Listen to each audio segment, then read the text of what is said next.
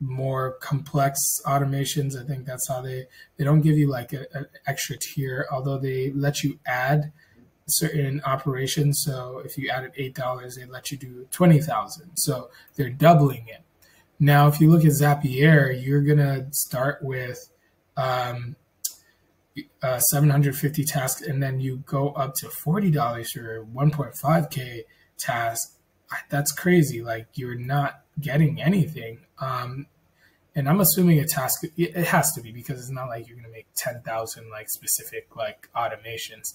You are just they're just charging you per run every time you use them, right? Not charging you, but that's how you get certain runs, and it's the same with Make.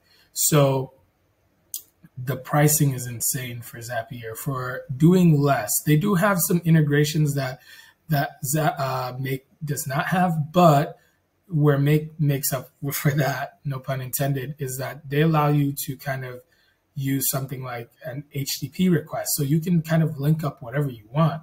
I don't think Zapier has that. And um, it allows you a bunch of different tools and customizations that just make it so much more powerful for a lot less money.